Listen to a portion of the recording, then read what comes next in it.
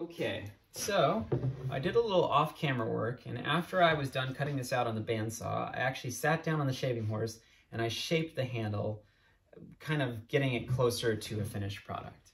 But obviously you can tell I'm nowhere near done.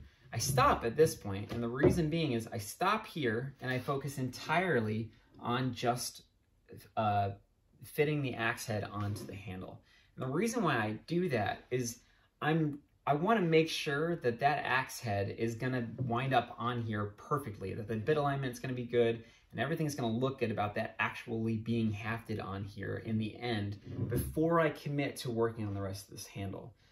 Early on, when I was doing this type of work, I would spend a whole bunch of time working on the handle itself and getting that really nice. And then I would have the axe head, and every now and then, something would just go wrong with the axe head where something would be out of alignment or something that would make me regret having spent so much time working on the handle itself.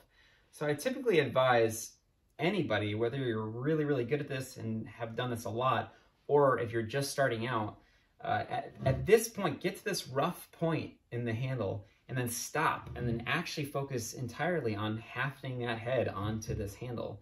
And then once that is looking good, you pop this handle right off again. Don't worry about the head until later and shape down the rest of the handle. So at this point, let's uh, start working on hafting the head. So one of the things that I did off camera is I actually chamfered the top and the back and the front of this handle. You can see that. Um, and what I'm going to do is I'm just going to show you some of the stuff that I do before I get to this point. Okay, so let me show you some of the things that I did before we got to this point, so that way you kind of can follow along.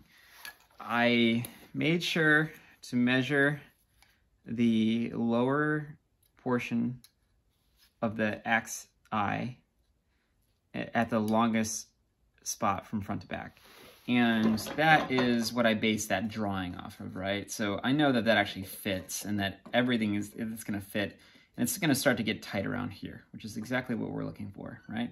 So that's one of the first things that I did. Now, the second thing that I do here is I chamfer uh, the back of this handle and the front of this handle. And the reason for that is it helps, it helps scribing on this next part. So what we do now is on the lower side of the eye, we check the width, right? At the widest section. So there we are. I'm locking that in. It's not something you need to write down. You're just gonna scribe it onto the handle. So we're gonna make our little measurements here. I'm gonna find kind of something close to the center. I'll write that on there. And then I'm gonna do, I'm gonna find out where that gets tight again, which is right about there lock that in, lock that in. And I'm gonna kind of scribe to that spot. No, I'm actually gonna opt to not do that at this point because it's just not, it's not going on as straight as I'd like. So I'm just gonna use my pencil to draw that. But typically I would scribe that with this caliper.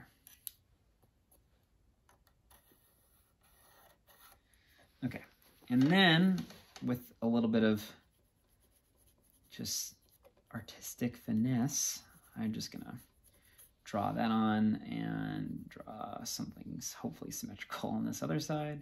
That looks good to me. Flip this bad boy. I'm gonna do the same thing on the other side. Lower section of the eye, the widest section down there. Now this will probably scribe on pretty good actually. So I'm going to touch the back shoulder and from about the back shoulder, I'm gonna start scribing on.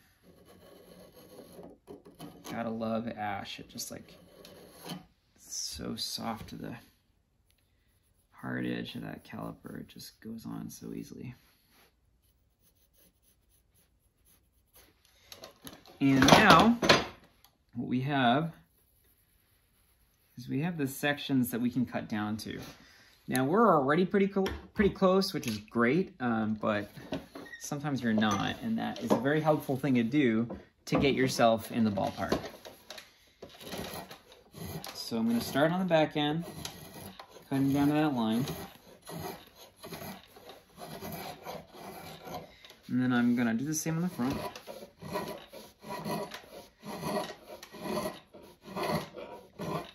I'm kind of going to pick a spot that I'm not going to pass. To mark that spot with this. So I'm not going to go forward to that line, just for now, while I'm doing bulk removal. So now I'm going to join these two lines. So I've got a line drawn on here and a line drawn on here, and I'm going to cut till it's flat. Which isn't too far. Remember, I made this billet for this accent, so I've already kind of done those measurements.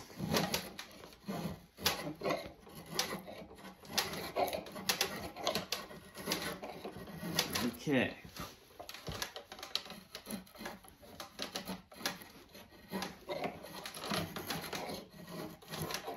Alright, pretty happy with that. And do the same on the other side.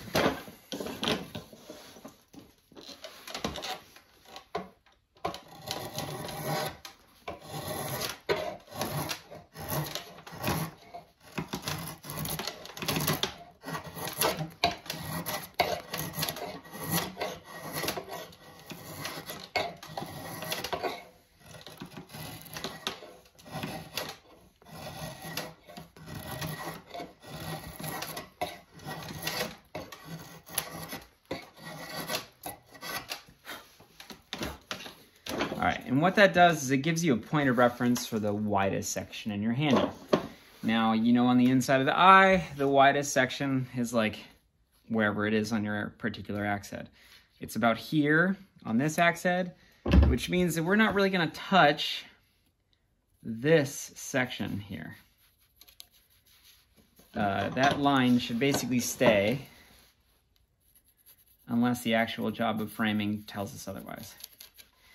And now from here, I'm actually going to shape down the top of this axe head. Top of this handle, rather.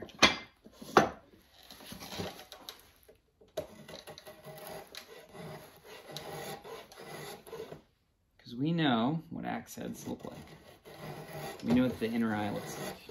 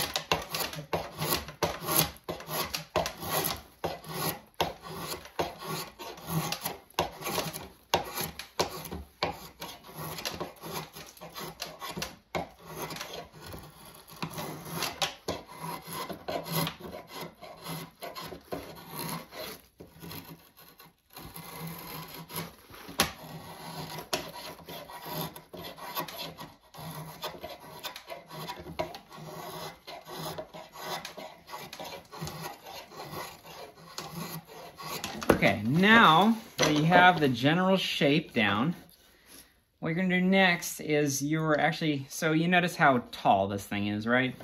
The reason why I cut my billets so that they're this tall is twofold. One, if any checking happens, it stops before it gets actually into the axe handle.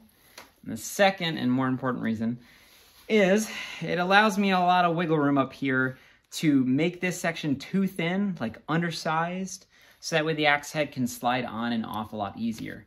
That makes checking the fit a lot easier. So I'm actually gonna really shape this upper section down. I'm gonna undersize it up here so that way it fits on easily. So let's do that.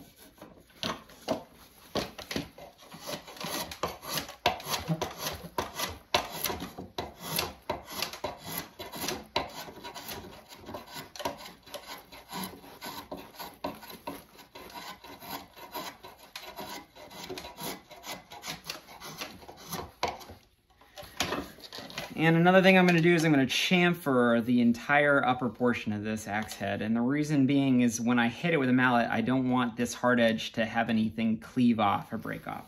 So if you chamfer it,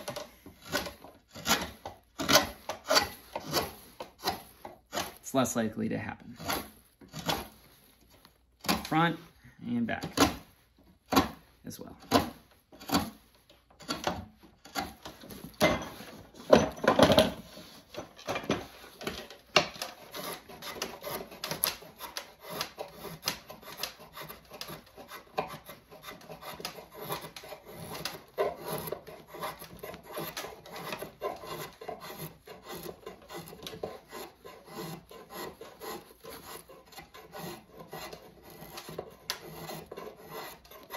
Okay, chamfer.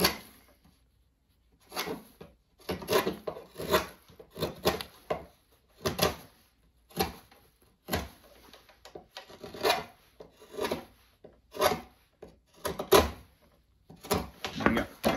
Now I'm going to test the fit. It's probably not going to actually fit, but this will give me an opportunity to see where is too tight. Oh, that's even better. That's great. It's coming along perfectly. So, you will notice we've got this big gap in the front. And we have some spots that are touching. And in order to make this gap close, we need this axe head to go back on the axe handle. And in order to make that happen, we need to relieve the tension from the widest spot forward so that way the axe can actually go backward, right? So I'm going to mark on here the spots that are touching. And I'm going to primarily focus on those, anything that's in front of that line. Okay. You got to pay attention to that there. Everything else is looking okay. It's not quite deep enough yet that we can actually sight the bit alignment because right now it's so loose and so far back that that won't tell you anything. All right, working the handle down more. Find where you made your mark and start working there.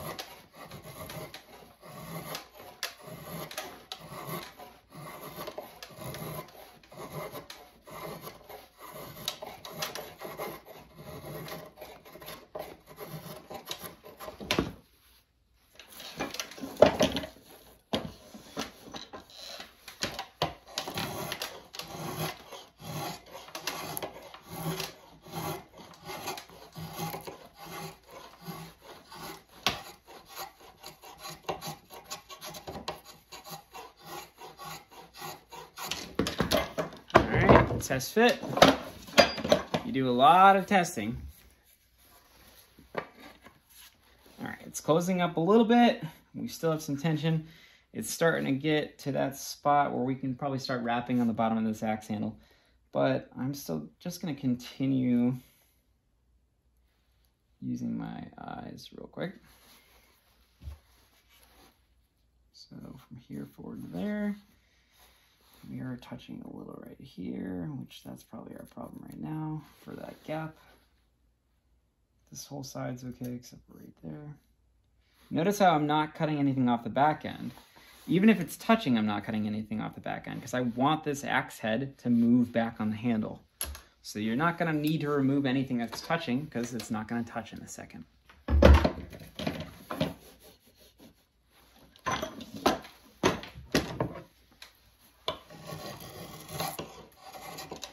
Also looking for wear marks. See that? That's kind of probably stopping it from moving back a little bit. Got a wear mark there and a wear mark here. Get rid of those. Be a little cautious about things before everything's filled out. right there where that was a real bad spot. So we know we're gonna wanna get rid of that. Right here's the other spot.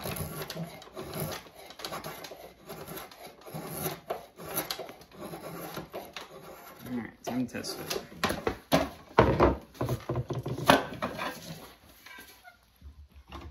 And I'll probably wrap on the bottom at this point. So we really closed that gap. It's getting pretty close to done. And you can see this gap back here. That gap's gonna be filled out by the fact that it flares. And let's wrap on the bottom of this and check bit alignment.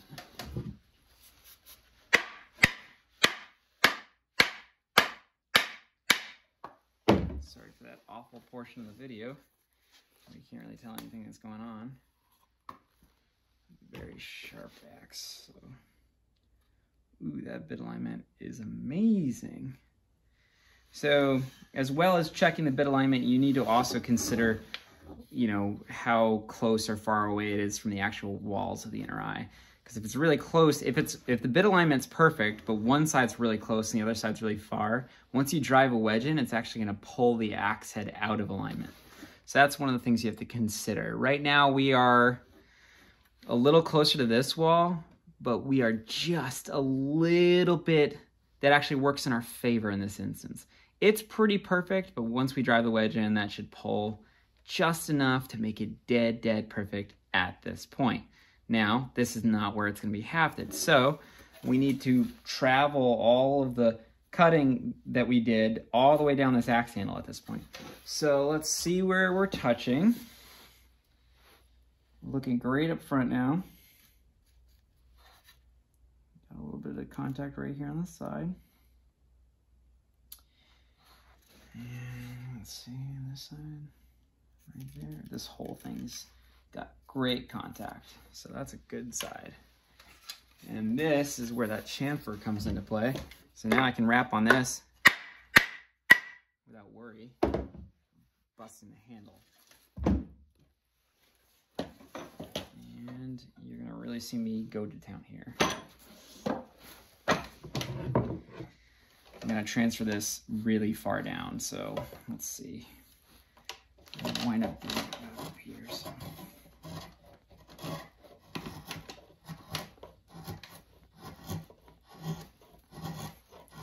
What I'm looking at is I'm looking at how deep down uh, this would have to go in order to be on the same plane as the spot that's actually getting contact. And I'm just gonna continue that and make it flat from there to there.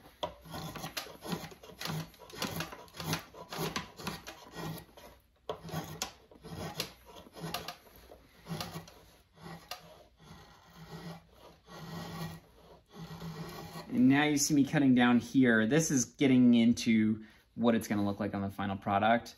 Uh, this is just like a thing that I do. You don't have to do this at this point.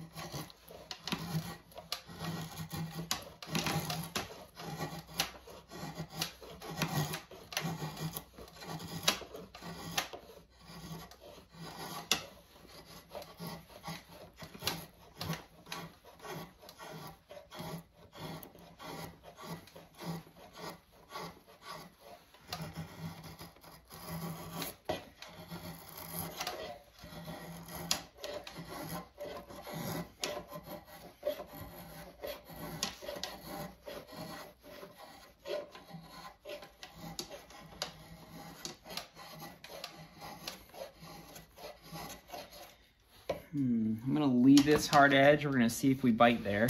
Probably will. But you'd rather have contact than no contact.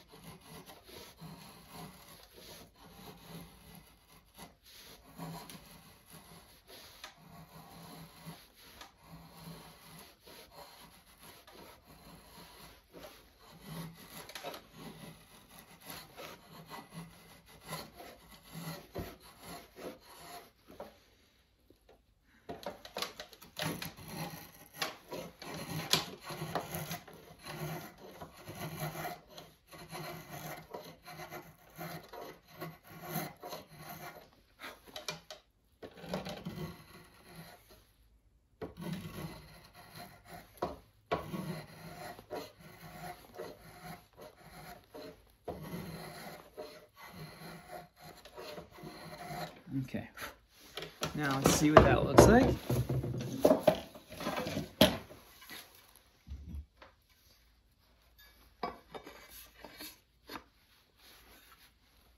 Put a little tension on it. Wrap on the bottom.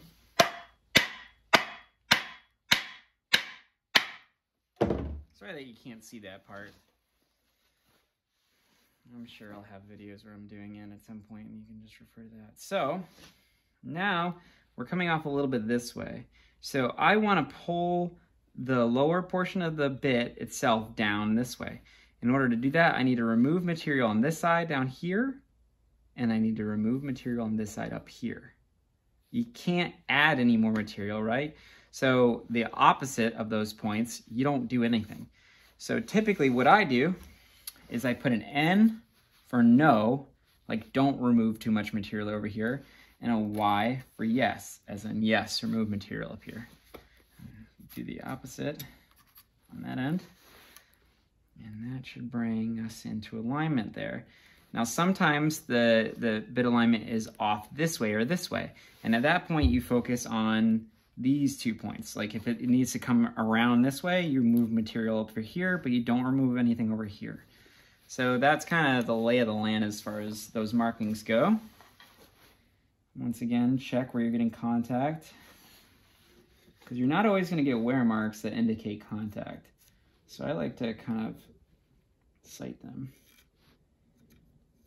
And mark them. Because if they're there, that's great. If they're not, then you won't need them. Okay, we still got a little bit of a gap on the front, so we need to Work more on the front than the back.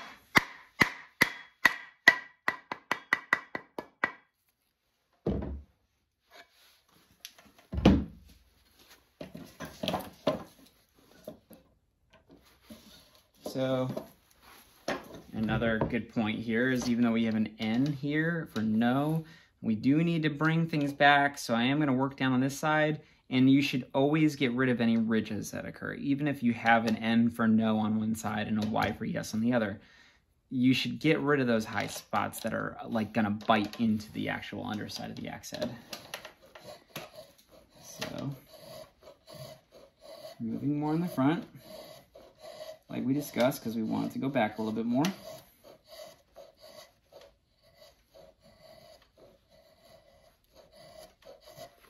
I got a little tension mark up here, and this is the yes side, and it's on the front, so I really want to get rid of that.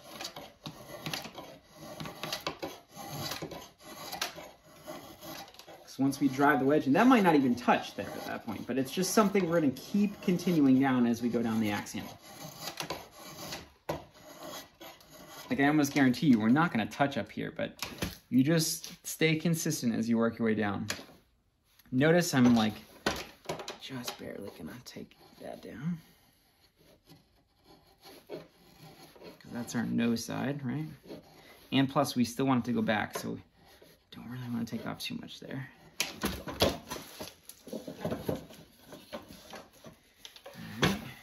Y for yes, and you can see that real hard tension mark there. So that's definitely a yes. And it's the front, so we want it to move back. So we have to get rid of this stuff in the front. Notice how deep I'm digging on, on the side. That's to correct the bit alignment.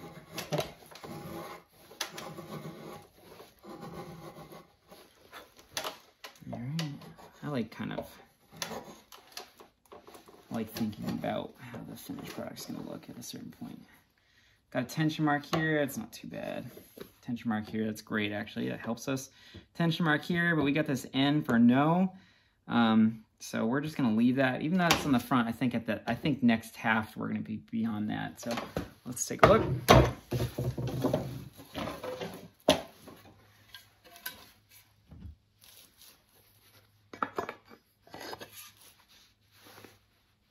Okay.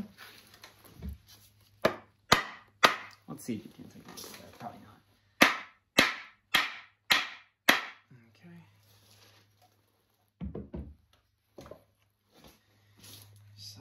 are starting to look really good here. Got contact here, contact here. And now that we're getting so low, you really want to start committing to working this wood down slowly. You don't want to wind up shooting yourself in the foot this far along. So bit alignment looks perfect, so we're just going to continue what we're working on. The distance on each side of the axe head itself is perfect. It's the same, so our bit alignment is showing true at this point. We're probably about an inch, yeah, probably about an inch away to a final position here. So at this point, you're gonna notice me, I'm gonna start really actually shaping this handle at this point.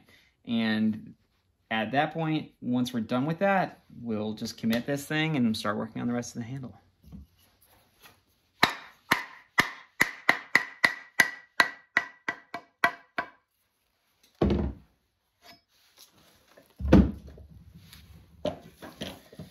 Eye on that thing is so big that that's why this is like taking a while.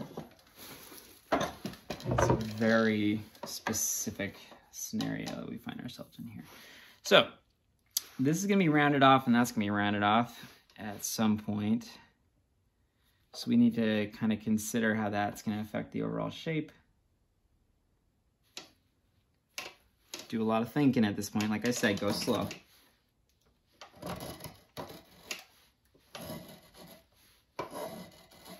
Like I was saying before though too, this is just to make sure the bit alignment looks good. You're not actually gonna drive a wedge in yet. So once you're done with the handle, you can kind of tweak it a little bit this way or that way with the sander once you get to that point.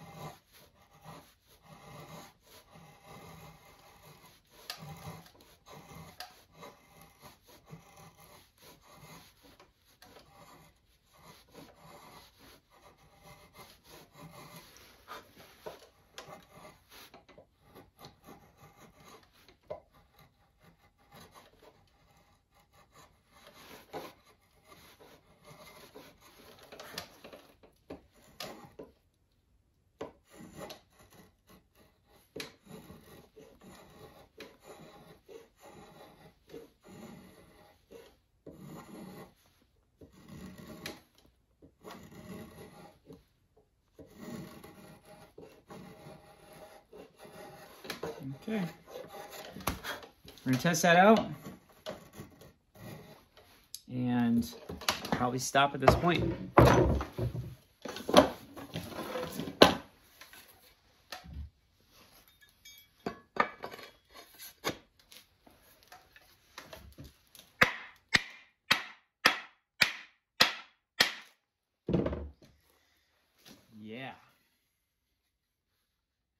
we probably have like another, you know,